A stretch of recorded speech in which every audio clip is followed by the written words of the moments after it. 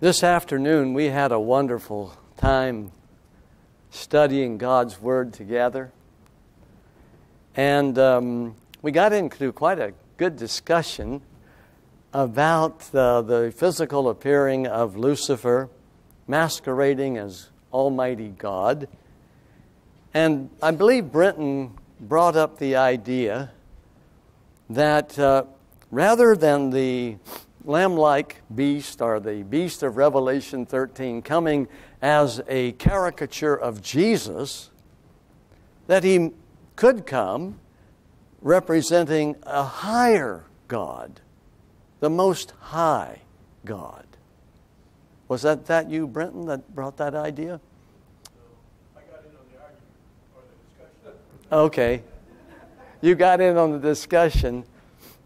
Uh, I don't know then how the idea came up. I don't know whether I said it or someone else said it, but. Who said it? Well, we'll we've got the evidence. We'll find out.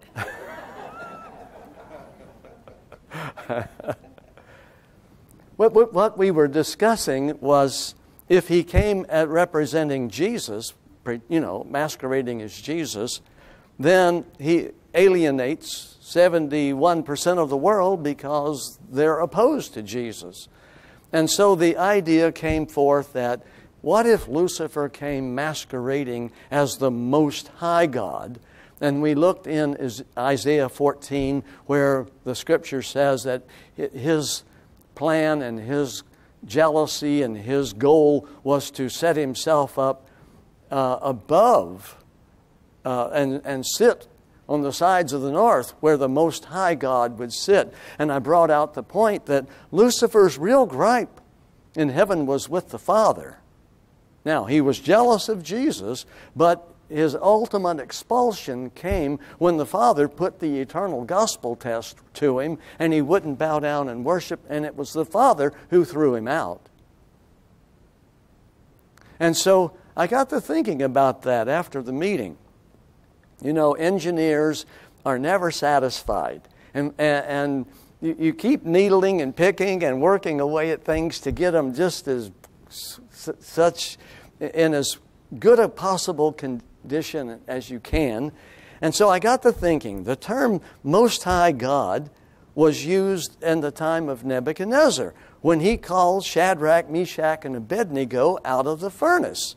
Servants of the Most High God, come out. Now, think about it for a minute. If, if, if Jesus, uh, excuse me, if Lucifer came at the fifth trumpet, masquerading as the Most High God, he would have Christians in his pocket because they believe three in one.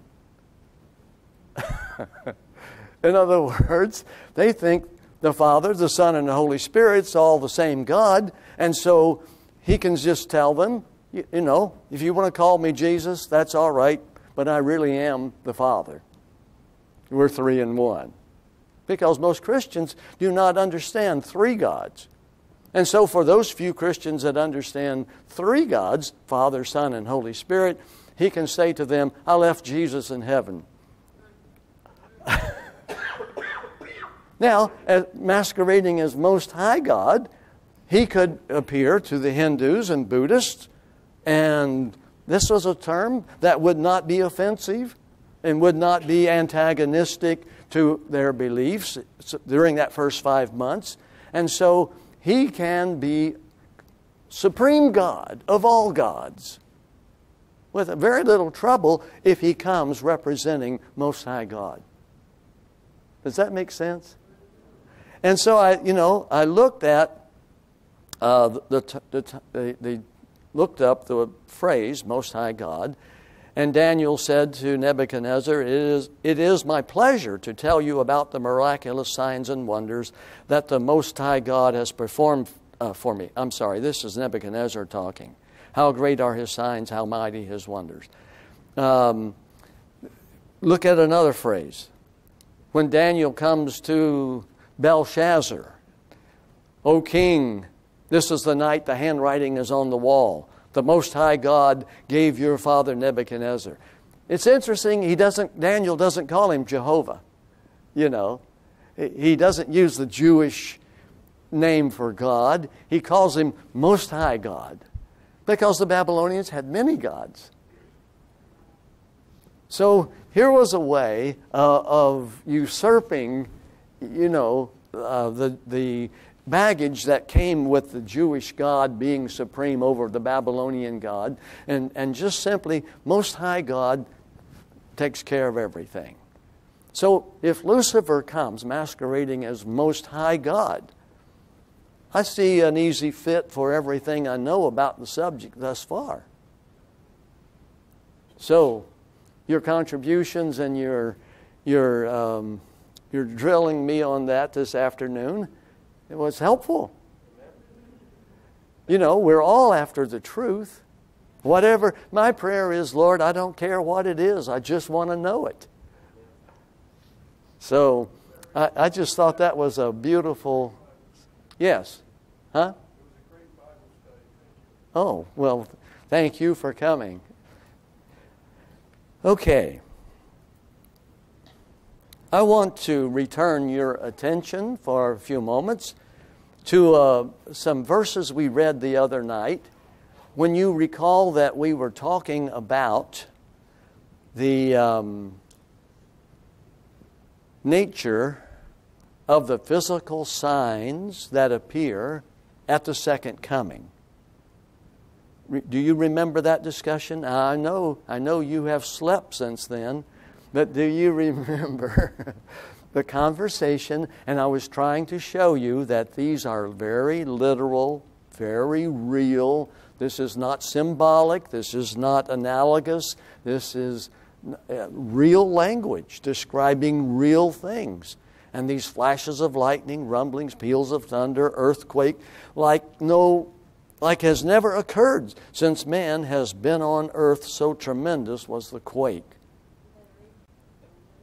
There was a big that's right, there was a big storm going on that night. And we were concerned about the great wind that was about to take us away. so, the reality of Revelation 16:8, remember, this is something that takes place at the seventh bowl. Seventh bowl. This is at the second coming. The seventh bowl is the last judgment. And this is where Armageddon is fought. And this is where all the wicked are killed. So the, the context here in Revelation 16 18, uh, the thing that I want you to see is that the language has nothing, is not symbolic in the least. That's the point I want you to see. And then I showed you at the seventh trumpet. I backed up 70 days and showed you the seventh trumpet. Same symbols, and the language was all literal. And then I backed up 1200, uh, 1260 days to the casting down of the censer, showing you again that the language was not symbolic, it was all very literal. Okay, now that I've got that thought going, I want to move from verse 18 to verse 19 in Revelation 16. Notice what the Bible says. The great city split into three parts, and the cities of the nations collapsed. God remembered Babylon the Great and gave her the cup filled with the wine of the fury of his wrath. Now, this is where things get kind of messy. Verse 20 Every island fled away, and the mountains could not be found. So, verse 20 is not at all symbolic it is not at all analogous or a metaphor. The language is, says what it means just as it reads. Every island. We're not talking about symbolic islands and symbolic mountains disappearing. Okay? Everyone's with me? But let's go back to verse 19, and I want to show you that symbolic language, analogous language and literal language can be all in the same verse. and this is what makes it so hard to finally get your mind around until all the pieces come together. And that's why Rule 3 exists. I, I haven't talked much about Rule 3 in seminars because people, we just haven't gotten into it. But I thought tonight would be a perfectly good time to talk about Rule 3 and show you how cool it is. Rule 3 in the interpretive process goes like this Apocalyptic prophecy has three kinds of language. Sometimes it's literal, sometimes it's symbolic, and sometimes it's analogous. Analogous language is language that's used as a description or a parallel or a metaphor. For example, um, when we say, let me give you an example here, real quick. In Revelation chapter 9, verse 3, verse 2, when the angel opened the abyss, smoke rose from it like the smoke from a gigantic furnace. You see that word like? That means we're about to use a metaphor. That means we're about to use a comparison. That means we're going to use a description of something that's known to describe something that is unknown. He flew by me faster than the speed of sound. You get the metaphor? So, when we're talking about analogous language, when he opened the abyss, smoke rose from it like the smoke from a gigantic furnace. The sun and the sky were darkened by the smoke from the abyss. Well, now let me be clear. Smoke did not actually come out of the abyss. We're using a metaphor. Something like smoke comes out of the abyss. And the sun and sky were darkened by the something that's like smoke. Main, mainly, a million angels in the sky are so many and so big, and they obscure the sun. And the sky is clouded over by their physical presence. Am I making any sense? And out of the smoke, these beings, at, from a distance, which look like locusts, we're again using a metaphor that came down upon the earth and were given power like that of scorpion, like metaphor, that of scorpions.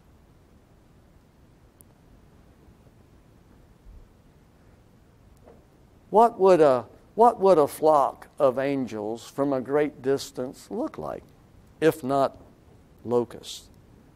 Put on John's sandals for a minute. John has never seen an airplane. And, and from a distance, from a distance, a, a million angels would look like a swarm of locusts.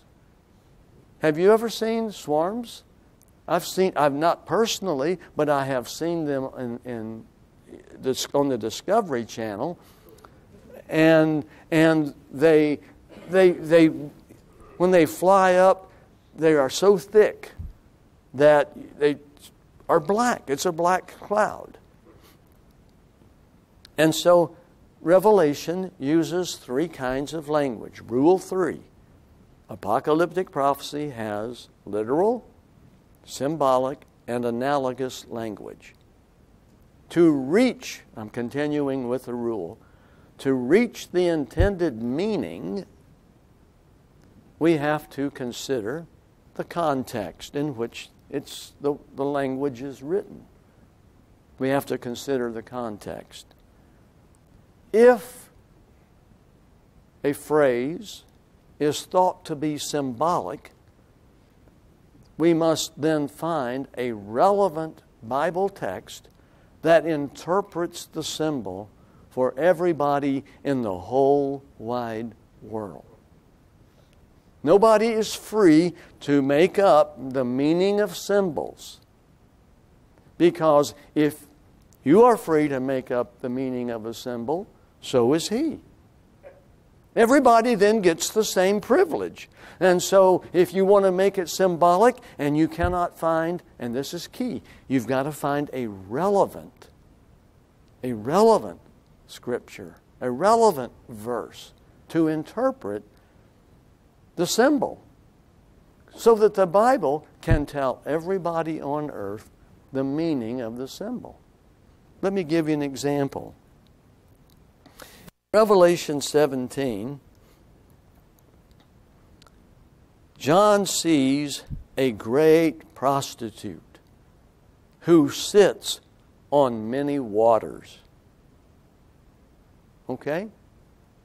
A great prostitute who sits on many waters. Well, when we go down to the end of the chapter, we find, we find out who this woman is. Notice the woman you saw is what? The great city that rules over the kings of the earth. Hmm. So the prostitute, the woman, is a symbol. And we have a relevant Bible text to interpret the symbol. What makes this verse 18 relevant? It's relevant because the symbol is identified and the meaning is declared. And when you apply it, it makes perfect sense. One other thing um, The waters you saw, where the prostitute sits, are peoples, multitudes, nations, and languages. So we have, again, a relevant Bible text defining the waters. The prostitute sits upon the waters. And so a relevant Bible text comes back around where the symbol is identified and the meaning is declared. That is what relevant means. So far, so good. So if it's literal, it, there's no symbolic meaning. The islands and the mountains are moved out of their places. Literal language. The prostitute sitting on many waters, symbolic language. The smoke coming out, the, the great herd coming out of the abyss that darkens the sky like the smoke of a great furnace. Analogous language. Am I making sense tonight? I know this is not freshman comp, but I'm trying to help you understand some of the way that God wrote the book of Revelation. And rule three, let me say it again, goes like this it says apocalyptic prophecy has three kinds of language literal, symbolic, and analogous. To reach the intended meaning, we first have to consider the context. If the language is thought to be symbolic, then we have to find a relevant text to define the symbol. We are not free to make up the symbol. If we think the language is analogous, then we can search the scriptures to understand the context, or we can sometimes use parallel language from other places in the Bible to understand how they how it, what it meant here so that what it means here is the same thing using parallel language. So tonight, I want you to, to see that in the middle, right here, in the seventh bowl, this language is all literal. This earthquake, rumblings, peals of thunder, blah, blah, blah. It's all literal. And then we come to verse 19. Now, who is the great city? I just read that. In Revelation 17, verse 18, she's the prostitute that sits upon many waters. But watch this. In this one sentence, the great city split into three parts. That's symbolic. And the cities of the nations collapsed. That's literal. In one sentence. And if you're just flying through Revelation trying to make everything symbolic, it, it will make no sense. If you're flying through Revelation trying to make everything literal, that too won't make any sense. So you've got to watch what God has done very closely and watch the language. You have to put several things in mind. You've got to have some variables up here stored away so that when you're reading along and you see, ah, oh, the great city, I know what that is. That's the woman. That's the prostitute. That's the theocracy that Lucifer sets up. And at the seventh bowl, the great prostitute is going to be destroyed three thirds. That's the point. The city is split into three parts for utter destruction. No one third, two thirds. It is three thirds gone.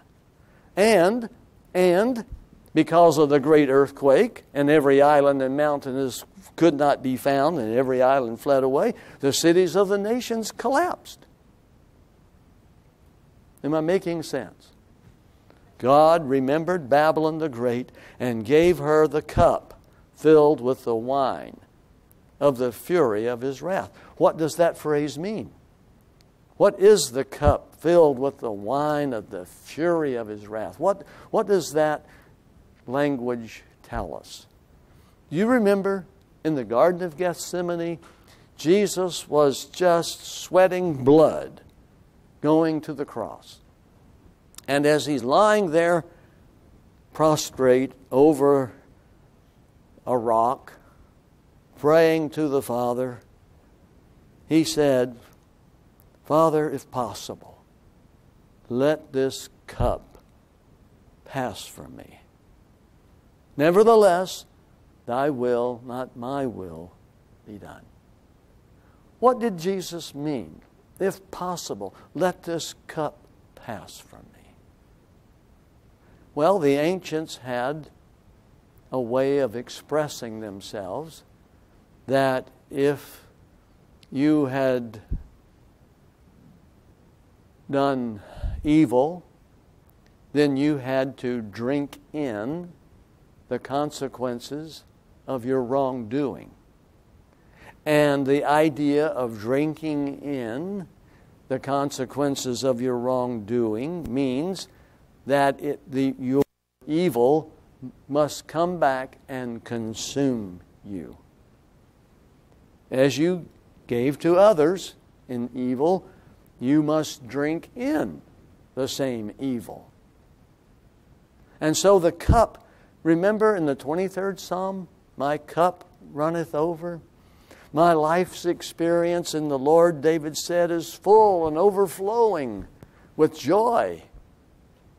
But the cup can also contain the bitter drug, the bitter dregs of the, of the grape and, and the, bitter, the bitter wine.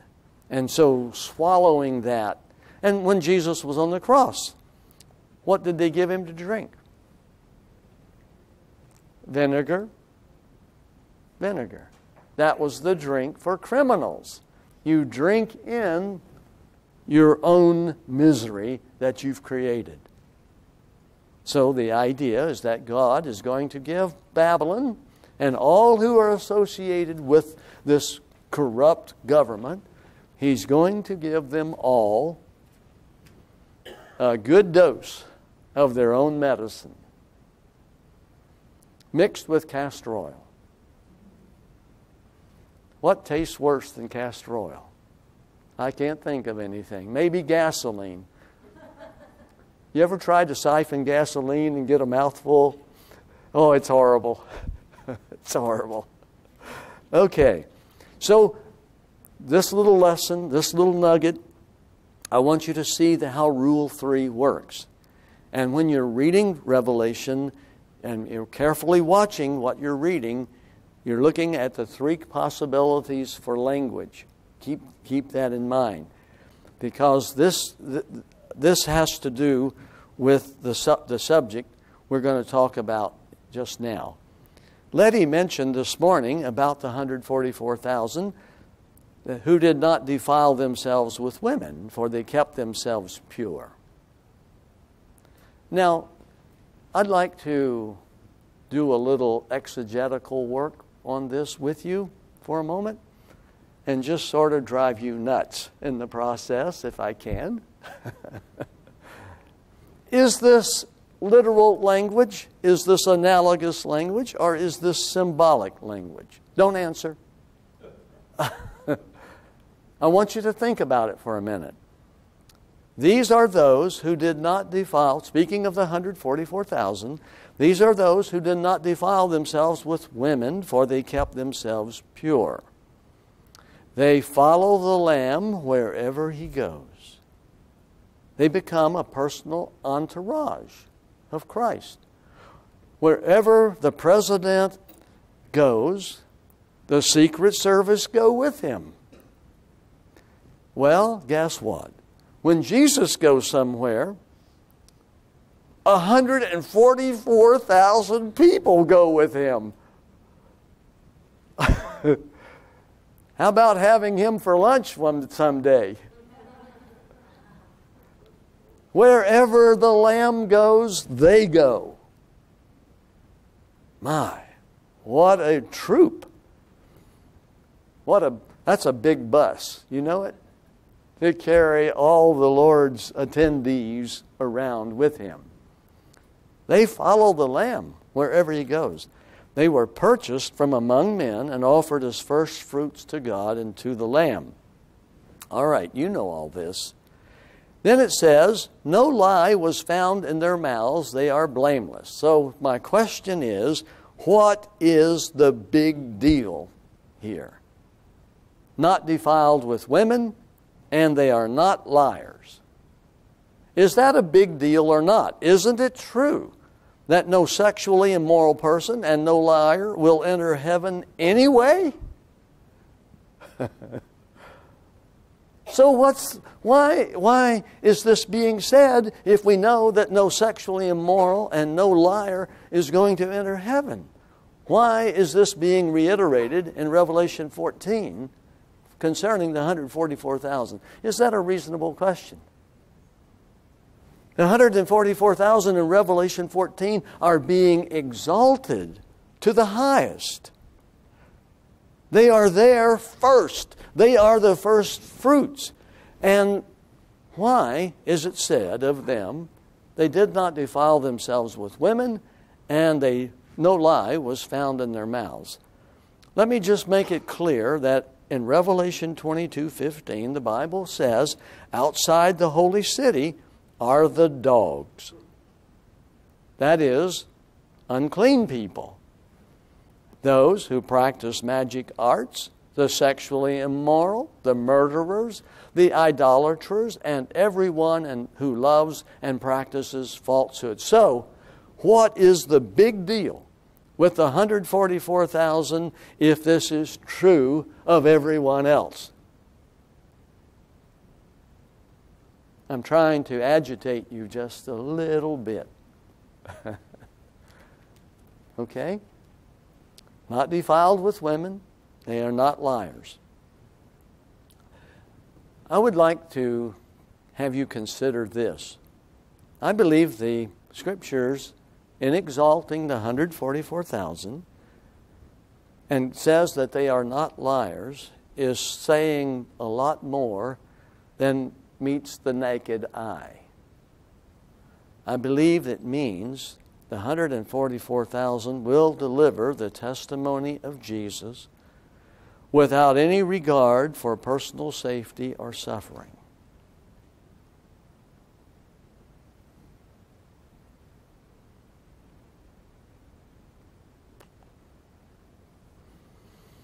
When you realize the beating that will come from doing this, saying that they faithfully spoke the words given them without regard for personal safety, that puts them in a category above those who did not tell a lie on their own.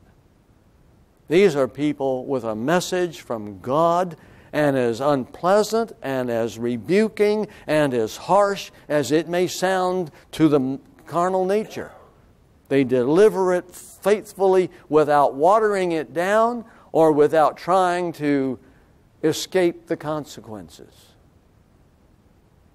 Does that make sense? Do you understand the overwhelming temptation that could arise in this situation if the 144,000 were not sealed? Because the 144,000 will be free of the sinful nature, there will be no desire within them to distort or soften the truth. They know that they will live for as long as Jesus gives them life. And they know their death is coming. The scriptures are quite clear. If you're selected and called to be one of the 144,000, you know very well it's a call to death. It's a call to carry a very heavy cross for 1260 days that ultimately ends with your death. It's like holding a seminar every day for 1,260 days. All right, all right. No, it's worse than that. It's worse than that. The 144,000 will serve Jesus just as Jesus served the Father. John 17, 8. Jesus prayed to the Father, For I gave them the words you gave me uh, Stop right there for a moment. Do you realize that when Jesus was on earth, when his lips were moving, the words coming out were not his own? When his lips were moving, the words coming out were coming from the Father. The Father was speaking through the lips of Jesus. I gave them the words you gave me. And they accepted them, speaking of his disciples, and they knew with certainty that I came from you, and they believed that you sent me. In John 14 24, Jesus said to the, uh, to the Jews, These words you hear are not my own, they belong to the Father who sent me. Have you thought of Jesus really as a mouthpiece for the Father? Or have you just sort of thought of the ministry of Christ as Jesus coming to, to do battle with the Pharisees? How, how, do, how do you see the ministry of Jesus? Think about it. The Father sent Jesus to do battle himself with the Pharisees, and Jesus is the mouthpiece. The words you hear are not my own. And then in John 14 10, he says it again. The words I say to you are not just my own. Rather, it is the Father living in me who is doing his work. So the phrase, no lie was found in their mouths, is huge. It means the 144,000 faithfully spoke the words given to them, and they did not hold back a scintilla. You know what a scintilla is? It's that little accent that's used on certain words to change the tone of the word. It's just a little tiny dot. Jesus spoke the words and did not hold back even a scintilla. In Luke 12 11, when you are brought before synagogues, rulers, and authorities, Jesus said to his disciples, Don't worry how you will defend yourselves or what you will say, for the Holy Spirit will teach you without preparation at that time what you should say. Now, now, we're going to examine the phrase, not defiled by women. There's lots of speculation on this. Are there 144,000 unmarried male virgins? Are the 144,000 servants, both men and women, who are sexually pure? We know, as Letty said, and Romans 1 says, women can defile themselves with women in Romans 1:26. So what does they did not defile themselves with women mean? Do you take this as analogous, symbolic, or literal? In a sentence, I believe this phrase indicates a fidelity to mission that mirrors the life of Christ. Consider this marriage is not defiling. God created marriage. Getting married is not defiling in any way. It is a holy state, and often called the holy state of matrimony. So, marriage is not defiling. God married Adam and Eve. God created marriage. And the marriage bed should be kept pure. Marriage should be honored by all, Paul says, for God will condemn the adulterer and all the sexually immoral. The word judge there means to condemn. So, marriage in itself is not defiling. However, if Jesus had married, he would have defiled the mission given to him by the Father.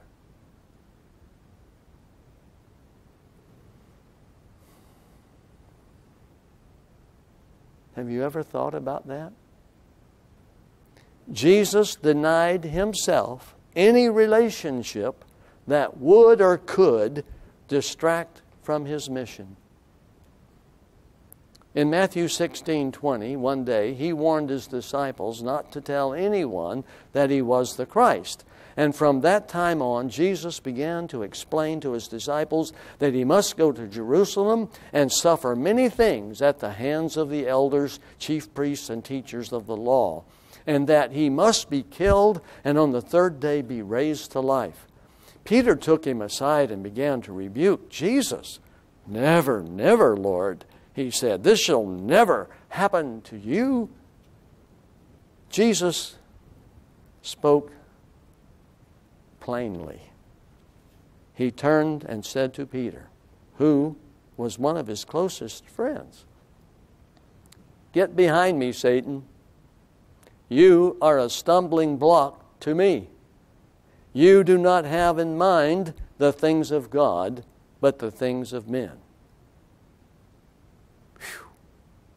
You ever had a friend speak to you like that?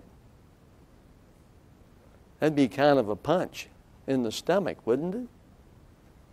Then Jesus said to his disciples, If anyone would come after me, he must deny himself and take up his cross and follow me. For whoever wants to save his life will lose it, but whoever loses his life for me will find it. If anyone comes to me and does not hate his father and mother, his wife and children, his brothers and sisters, yes, even his own life, he cannot be my disciple. And if anyone who does not carry his cross and follow me cannot be my disciple. Whew. The Father gave Jesus a huge cross to carry. If Jesus had sought the love, fellowship, and companionship that comes with marriage, he would have defiled the mission given to him by the Father. Therefore, knowing the 144,000 will be selected and sealed prior to the great to the commencement of the great tribulation, knowing that the 144,000 will have sinless natures just before the Great Tribulation begins, knowing something of the purpose and suicide mission given to the 144,000, knowing the suffering, persecution, and death the 144,000 will experience, knowing that they are purchased from among men and presented as first fruits, and knowing the 144,000 will be human mirrors of the ministry and work of Jesus, I conclude the phrase, not defiled by women, and no lie was found in their mouths, to mean the highest possible exaltation that can be said of the 144,000. The 144,000 will not allow any human relationship, marriage or familial, to distract them or to defile their mission. When Jesus calls and selects them for his service, he will set them apart from all human beings with a sinless nature. And how well would that work out in a marriage?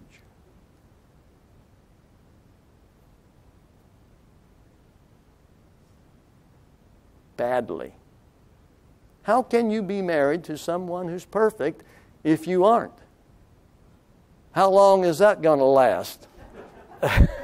We will not get into any personal details. In fact, this is a good place to cool off and take a 15 minute break. Let's do that just now.